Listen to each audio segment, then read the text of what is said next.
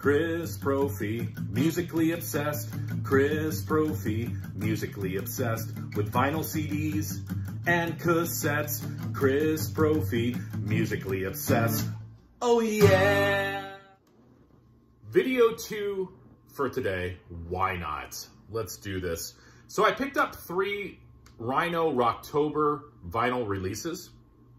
And every October, Rhino Records has this, you know, let's just call it a promotion, Rocktober, where they reissue a certain amount of albums. And there were quite a few that I was interested in. I ended up picking up three of them.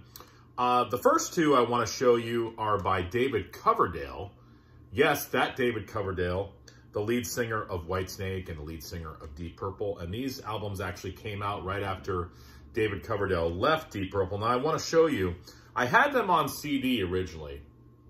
One, the first one's entitled White Snake, and the second one is entitled uh, North Winds. Now, I might have listened to these CDs maybe a couple times, and I really didn't think too much about them. So I almost didn't buy these reissues. And then I'm like, you know what? Let me pick these up.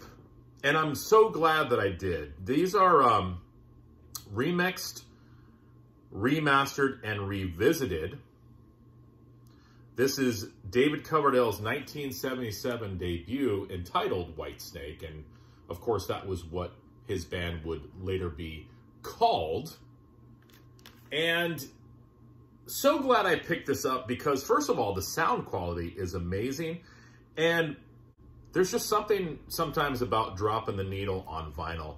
This is uh, pressed on translucent tan vinyl. Let me show you what that looks like. And it's got all of the elements of what I like about David Coverdale. It's got the bluesy vocals. It's got that hard rock energy.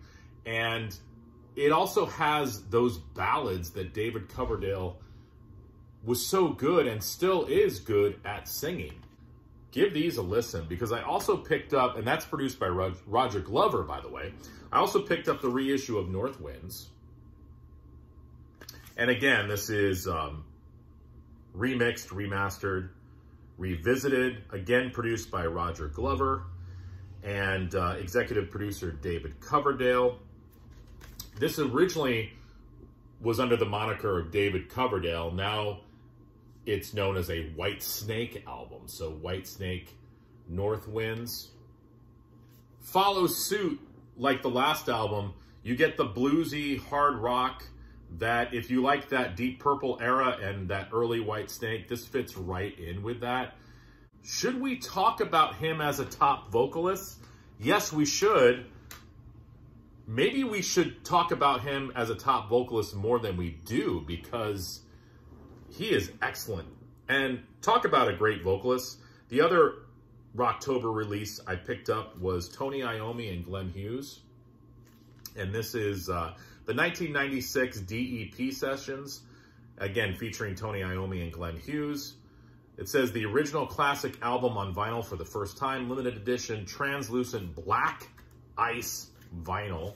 Let me show you what that looks like. Might be kind of hard to tell. No, you can kind of get a glimpse of it. Never heard this album before. I had seen the CD from time to time, and of course I love Tony Iommi. I love Glenn Hughes. So I was interested in this. The riffs are there for Tony Iommi, but what's really interesting about this album is that Glenn Hughes, and I don't know if it was because he was writing for Glenn Hughes, but the guitar riffs are a little bit more, I'm going to use the term soulful. They've got a little bit more sparkle to them than like some of those darker Iommi riffs, if that makes any sense. And Glenn Hughes sounds phenomenal on these. I was expecting like demo quality because I was thinking, oh, this says the 1996 DEP sessions. I don't really know too much history behind that. I guess I could have Googled it, but it sounds fine to me. I mean, it's got sort of, at times, a little demo sound to it, but clear, clear recording, and the songs are there. So, yeah, picked up uh, that. Don Airey plays keyboards on here, by the way, too. So those were my three Rocktober releases. Did any of you guys pick up some Rhino Rocktober releases? Let me know in the comments below. All right, everyone. Bye.